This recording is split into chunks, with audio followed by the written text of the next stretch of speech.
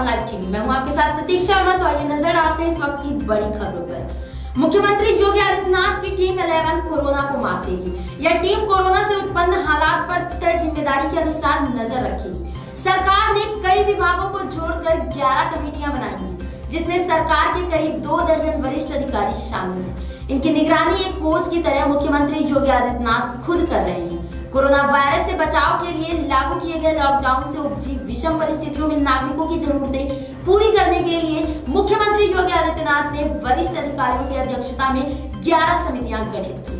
प्रत्येक समिति को खास ज़िम्मेदारी सौंप दी गई।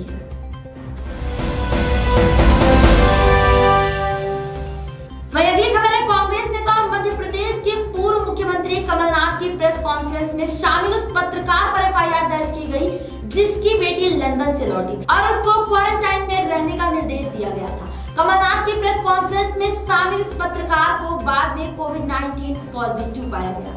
इसी के चलते प्रेस कॉन्फ्रेंस में शामिल सभी पत्रकारों को क्वारंटाइन में रहने के निर्देश दिए गए भोपाल पुलिस प्रवक्ता ने बताया है कि पत्रकार के खिलाफ शुक्रवार रात को श्यामला हिल्स पुलिस स्टेशन में आईपीसी की धारा एक सौ अट्ठासी, दो सौ उनहत्तर और दो सौ सत्तर के तहत मामला दर्ज किया गया है। बताया गया है कि पत्रकार पर कोरोना वायरस महामारी से संबंधित सरकार के प्रतिबंधात्मक आदेशों का उल्लंघन करने के लिए मामला दर्ज किया गया सूत्रों के मुताबिक, बेटी के विदेश से लौटने के दो दिन बाद पत्रकार ने 20 मार्च को मुख्यमंत्री के रूप में कमलनाथ की अंतिम प्रेस कॉन्फ्रेंस में भाग लिया।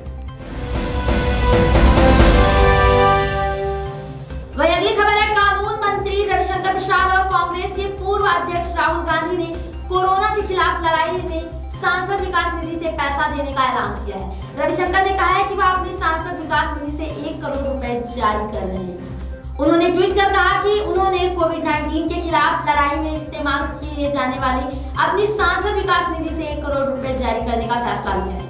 कानून मंत्री लोकसभा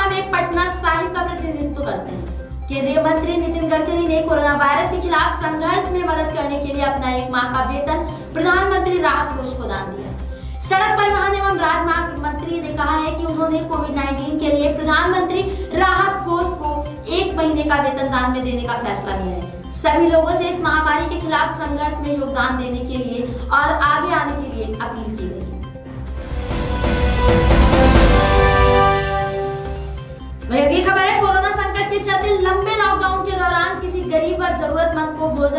की किल्लत न होने देने के लिए भारतीय जनता पार्टी ने अपने कार्यकर्ताओं को ज़िम्मेदारी सौंपी है। जिला व मंडल स्तर पर चलने वाले अभियान के लिए प्रदेश स्तरीय समन्वय समिति गठित करने के साथ हेल्पलाइन भी स्थापित की गई है। प्रदेश अध्यक्ष स्वतंत्र देव सिंह ने बताया है कि कार्यकर्ता स्थानीय प्रशासन से समन्वय स्थापित कर जरूरतमंदों को रोटी दवा व रोज़मर्रा की ज़रूरत की अन्य सामग्री उपलब्ध कराएँगे। जिलों व मंडलों में प्रमुख कार्यकर्ताओं को इस अभियान में लगाया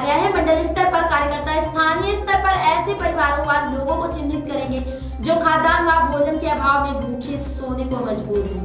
साथ ही कोरोना से बचाव के उपाय भी बताए जाएँगे।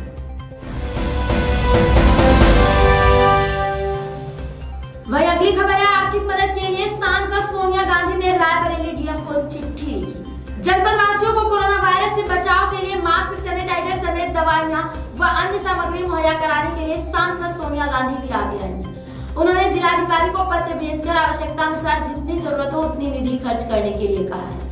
सांसद सोनिया गांधी ने पत्र के माध्यम से बताया है कि कोरोना एक वैश्विक महामारी है। दुनिया भर के तमाम देश इसकी भयंकर चपेट में है। हमारे देश में भी कोरोना वायरस से पीड़ित लोगों की तादाद लगातार बढ़ती जा रही है। रायबरेली की जनता से मेरी अपील है कि सावधानी बरतें। स्वास्थ्य विभाग और प्रशासन की तरफ़ से जारी निर्देशों का पालन करें। सतर्कता और जागरूकता ही कोरोना से बचने का विकल्प है।